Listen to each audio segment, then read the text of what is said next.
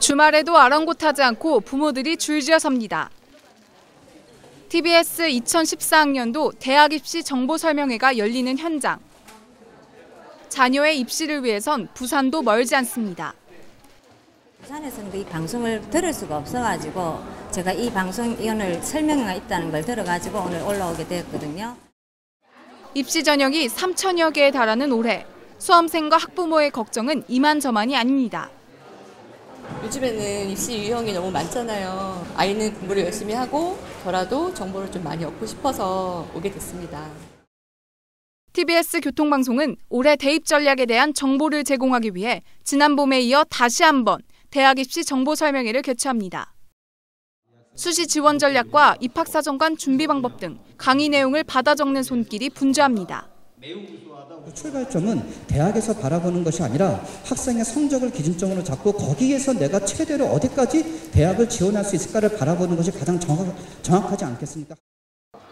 수험생과 학부모들 사이에서 인기를 얻고 있는 TBS 1대1 입시 컨설팅도 현장에서 무료로 진행됩니다.